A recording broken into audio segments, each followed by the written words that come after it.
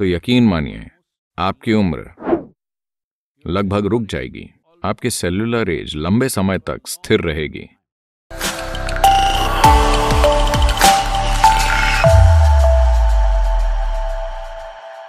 आज जैसे जैसे समाज ज़्यादा से ज़्यादा संपन्न हो रहे हैं, वो उतना ही बुरा खाना खा रहे हैं। भारत में गाँव के लोग जिसे छूते भी नहीं हैं, बड़े शहरों में लोग वैसा खाना खा रहे हैं। वैसा भोजन यानी आज पश्चिमी समाज जो चीज़ें खा रहे हैं, वो कम से कम तीस से साठ दिन पुरानी होती हैं।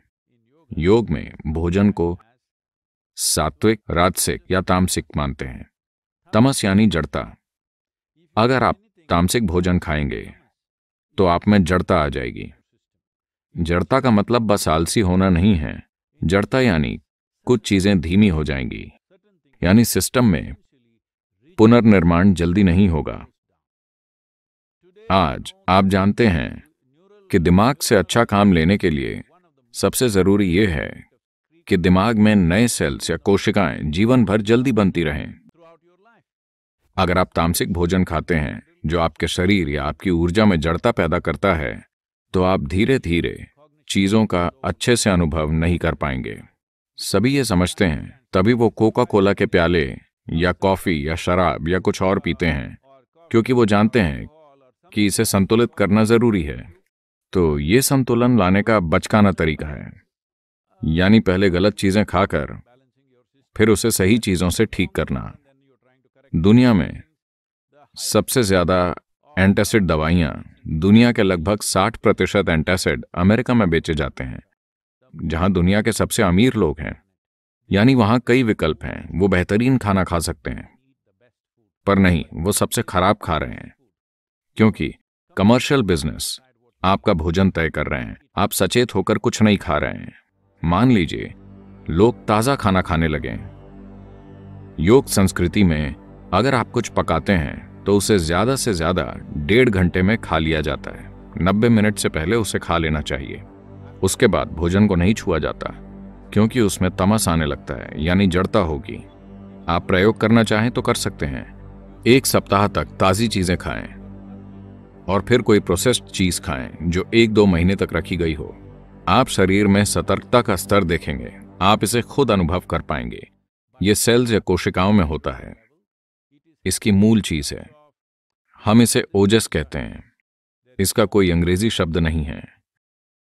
अगर आप काफ़ी ओजस पैदा करें, जो कि ऊर्जा का एक गैर भौतिक आयाम है, अगर आपके शरीर की हर कोशिका या सेल में ओजस हो तो यकीन मानिए, आपकी उम्र लगभग रुक जाएगी। आपकी सेल्यूलर एज लंबे समय तक स्थिर रहेगी। मुझ पर कुछ टेस्ट किए गए हैं और वो कह रहे हैं कि मेरी सेल्यूलर उम्र पच्चीस है। वैसे मैं पच्चीस की उम्र जैसा ही हूँ। मैं उतनी ही गतिविधि कर रहा हूँ। मेरा वज़न उतना ही है। सब वही है। ये कोई चमत्कार नहीं है। सभी ऐसा कर सकते हैं। बस बुनियादी बातों पर ध्यान देना होगा। भोजन से एक और चीज़ जुड़ी है। जिसे विरुद्ध आहार कहते हैं। यानी, अगर आप एक चीज़ खाकर कुछ ऐसा खाते हैं जो उसके खिलाफ काम करता है तो शरीर में जंग छिड़ जाएगी। पाचन प्रक्रिया काफ़ी हद तक एसिड या एल्कलाइन जैसी चीज़ों से होती है।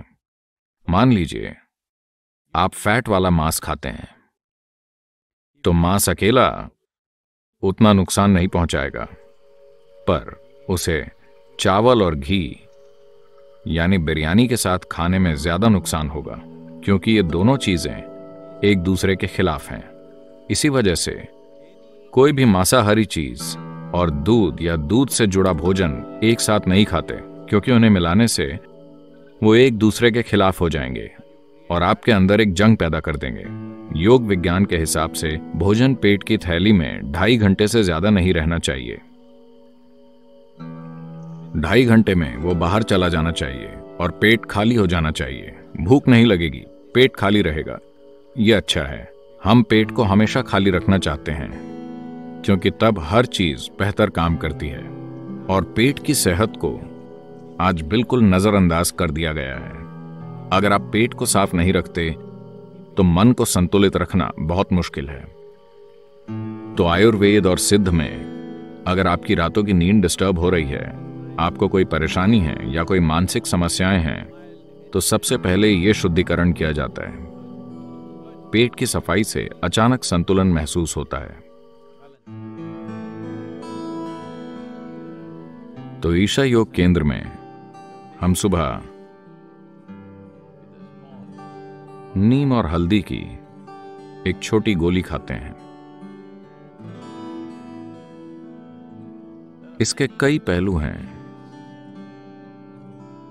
यह आपके सिस्टम पर कई तरह से असर डालती है। सबसे पहले तो ये खाने से आपका पाचन तंत्र या सिस्टम साफ़ रहेगा।